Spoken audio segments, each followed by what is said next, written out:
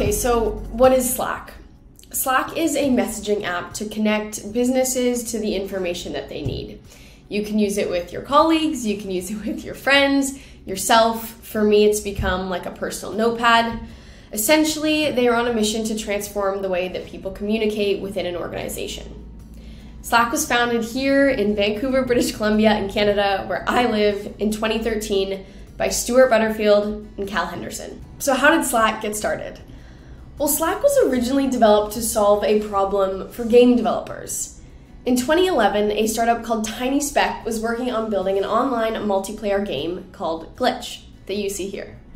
The team behind Tiny Speck and Glitch had already seen success building and selling companies, one of those being Flickr, which was one of the largest photo sharing apps in the Web 2.0 era.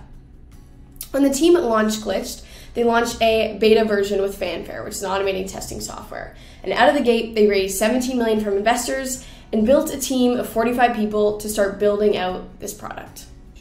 The characters and the background and the art and glitch were described to look like Monty Python crossed with acid, crossed with Dr. Seuss. So what's what's the ambition? The ambition is that um, the game ultimately becomes about people creating culture. It sounds a little bit weird because it's not totally freeform. It's not uh, completely user generated. The art's coming from us, um, mm-hmm. but people have a lot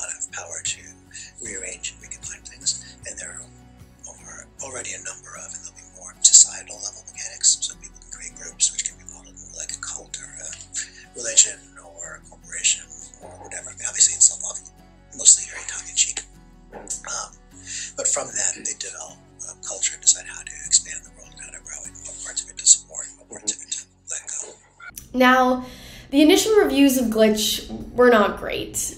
I didn't play the game, this is just what I read. The CEO, Stewart Butterfield, said that 97% of people who signed up left within five minutes. And as a multiplayer game, Glitch would really only be fun if you had your friends playing with you, tapping into what we like to call network effects. Four years later, with all the funding spent and employees laid off, Tiny Speck relaunched with a new product that we all know and love called Slack. You're probably wondering how the heck they got from Glitch to Slack. To help the Glitch team work together in person and remote, the team built a chat tool to communicate with each other. It was just text and it wasn't very pretty. They built this tool on top of IRC, which was called Internet Relay Chat and was first created in 1988, but it wasn't very usable for non developers. Hence the reason that the team built this chat functionality on top of IRC. Hack on hack on hack on top of IRC. So first logging the messages, then searching them. There's no good iPhone clients. This is there might be now. I don't know. Back in, in 2009, 2010, there wasn't. So we built an HTML5 front end so we could use a mobile Safari to read the archives, but then we needed to be able to post from there too, so we built posting, and then we wanted announcements when someone uploaded something to the file server, and then database alerts and daily stats getting pumped in, and you know over the years, just all these kind of features accrued on top of it. When the team realized that unfortunately Glitch was not going to be a success, they turned to this chat tool.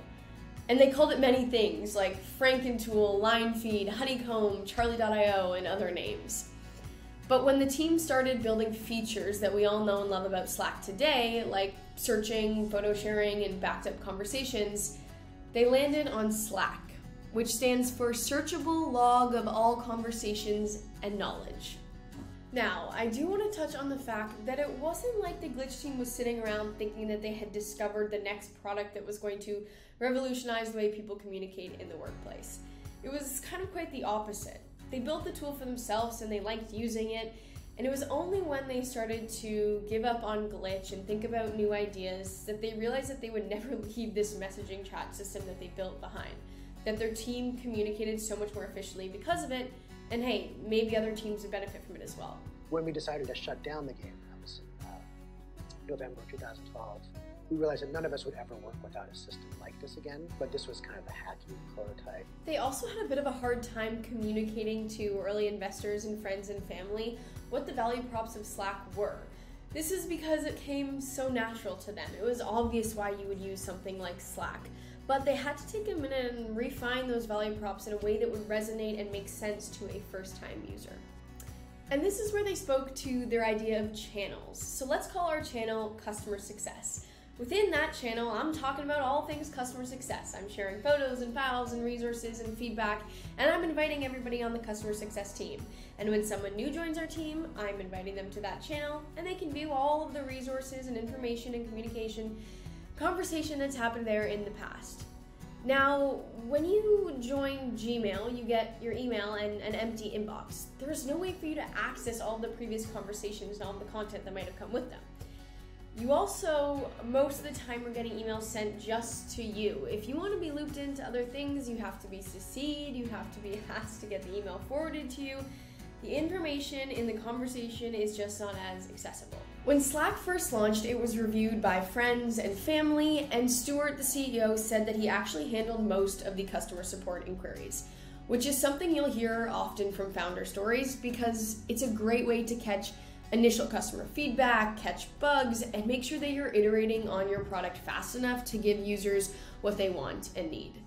They said that they made customer feedback the focus of all of their efforts in the early stages. Uh, that the role of designer is that of a good host. That way of thinking that you know the people using your product are your guests is puts you in a very different mindset than you're like this creative genius and what you're doing is super important and the world just doesn't understand you um, and people should appreciate this because we have really just uh, 180 degree different attitude when we evaluate our own stuff versus when we use other people's software or experience other people's products. It's like this thing where when you go to a restaurant website, if you're anything like me, you want the phone number, the address, the opening times or the menu, and nothing else matters. And yet, no one makes restaurant websites that prioritize that stuff. It's like this stupid music starts playing, and there's like a slow Ken Burns pan over some pasta or whatever, and you have to wait for that to be done. No one wants that experience for themselves, and yet they feel like other people are going to want it. Uh, and that's a kind of the most exaggerated example I can find, but we really try to put ourselves in the position of our customers and you try different techniques for that. One that I'm, I'm, not sure if it's truly effective or not, but I tried a lot with people is just try to imagine someone's heard about Slack a couple times. Maybe they saw a tweet about it. Um, they saw an ad that we put up and then someone recommended again. It's the end of their day. It's 9 p.m. They just put the kids to bed. They're watching TV. They lay back. They go to the App Store and they install our app. And we are just like not even in the top 1,000 most important things in their lives. You know, like they have all these other concerns, ambitions, issues, and we don't want to um, create an experience that is anything less than the most respectful it could be. The goal was to use Slack as a group. The minimum number to define a group was three, but the larger the better. Slack sort of created this new style of bottom up growth where individual contributors were responsible for seeding product adoption within the company. And to do this, they said they made it a focus to create resources and materials for those individual contributors to communicate to their managers or their teams why Slack was great to use. Slack started to figure out what their magic number was or what some of their metrics were for measuring retention. And what they found was that teams that exchanged 2,000 messages we're 93% more likely to stay using Slack for the foreseeable future. By 2016, Slack was reportedly being used by 77% of Fortune 100 companies. The period between 2016 and 2020 was a defining moment in the history of Slack. Slack added more features, including threaded messaging and Slack Connect. The company also launched 50 plus integrations as part of its ever growing developers inspired app directory. In June of 2019, Slack finally went public with its DPO, non conventional IPO, the Butterfield led company was now valued at $19 billion. Given that Slack virtually had no competition early on in the collaboration tools market, big league legacy companies saw the opportunity to take advantage of Slack's success. These companies had prior experience running IM programs in the 1990s and 2000s, so they were able to enter the market relatively quickly. Facebook, now Meta, launched Workplace in October of 2016, Microsoft launched Teams in March of 2017, and finally came Google with Workspace in October of 2020. Out of all three, it's Microsoft Teams that has truly been able to give Slack a run for its money. For our large enterprise customers, almost 100% of them are Microsoft customers. Of those, almost 100% of Office 365, and of those, almost all have Teams. Um, and we just coexist alongside. And the, our success in, at the large, you know, the high end of the of the um, market, it's like seven of the top 10 telcos in the world.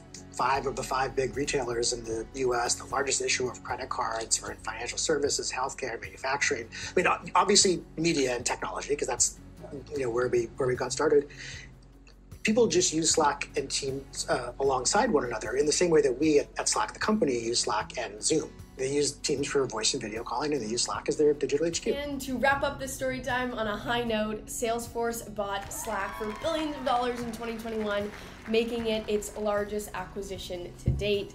Slack is one of the fastest growing apps in the world. If you hate email as much as me, sorry, go ahead and check it out. Uh, I think Slack um, joining forces with Salesforce is uh, going to completely transform uh, this part of the industry around the future of work and productivity software. Um, and uh, I think what Slack really brings Salesforce is this modern uh, uh, operating system for knowledge work where you can connect the front office, the back office, your customers, their partners, and have a common interface to be able to communicate and collaborate across all those different experiences. Over the next 12 to 18 months, now that you're part of uh, Salesforce, the interface on Slack might look a little different. What are you guys working on there?